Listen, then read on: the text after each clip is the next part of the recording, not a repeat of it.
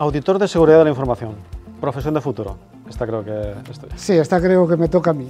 Bueno, pues yo os diría que sí, que es una profesión de futuro debido al auge que está teniendo la certificación tanto en 27.000 esquemas de seguridad de la información como en esquema nacional, en el que siempre estamos demandando nuevos auditores. Pues elijo para ti. Ventajas de las certificaciones en seguridad de la información para las empresas.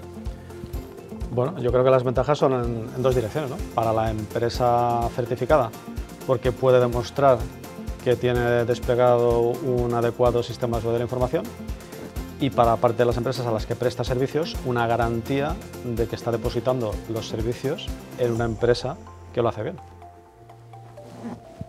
Te toca.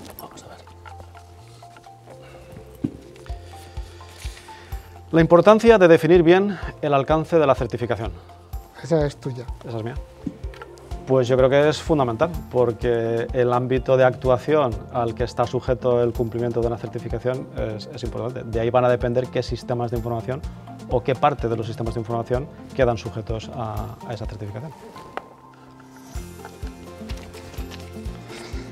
Tipos de hallazgos en auditoría. No conformidades mayores, no conformidades menores, observaciones y aspectos de mejora. Esa te lo dejo bueno, en esta eh, cada entidad define un, poco, define un poco la metodología que sigue, pero básicamente las no conformidades mayores serían incumplimientos de puntos de la norma o de requisitos del esquema nacional. Las no conformidades menores serían incumplimientos leves, no implica no cumplir uno de los controles o uno de los requisitos, sino que es mucho más leve o un, parte, y las oportunidades de mejora pues son cosas que a juicio de los auditores podían mejorar los sistemas de gestión que tienen establecidos las empresas. Seguimiento y recertificación en ISO 27001 y en Esquema Nacional de Seguridad.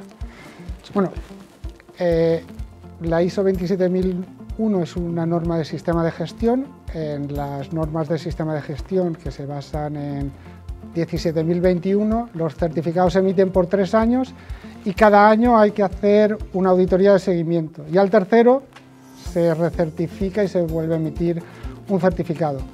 El esquema nacional es un poco diferente. El esquema nacional tiene una auditoría donde se ve todo y al cabo de los dos años se vuelve a hacer una auditoría completa donde se vuelve a revisar todo el esquema. Entonces, una te van a auditar todos los años y al tercero te hacen un chequeo completo y en la otra cada dos años te hacen un chequeo completo.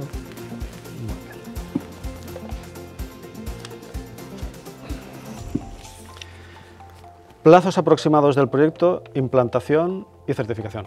Esta creo que también es... Esa es para mí. Bueno, los plazos en concreto del proyecto dependen un poco de la empresa, del personal que tenga la empresa en cuanto a formación y dedicación que puede, que puede hacer para, llevar el proyecto hacia adelante. Yo diría que para hacer una cosa medianamente decente, al menos seis meses se necesitarían medianamente decente. Eh, a partir de ahí, cuanto más azúcar, más dulce, tendrá mucho más registros, tendrá mucho más documentación. Y en cuanto a plazos de la certificación, eh, el esquema establece que en un mes tienes que tener cerrada la auditoría con, con las no conformidades solventadas. Después habrá un tiempo prudencial entre la revisión del expediente, lo que diga el revisor y lo que se haya visto en la auditoría. Pero entre unos dos meses después de la auditoría más o menos se podría cerrar un, esquema y, las normas de sistemas, pues nosotros solemos dar dos meses para, cerrar las no conformidades y máximo seis meses, si en seis meses no contestas, la auditoría se da como perdida y tienes que volver a empezar. Bueno,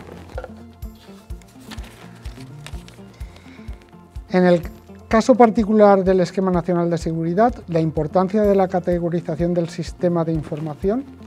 Bueno, pues es importante porque es donde el responsable del servicio establece cuáles son los criterios de ciberseguridad que necesitan desplegarse para que después el responsable del sistema adopte esas medidas de seguridad. Entonces, es un poco la segregación de funciones entre determinar cuál es el nivel de seguridad adecuado para tu sistema e implantar las medidas eh, que corresponden a ese nivel.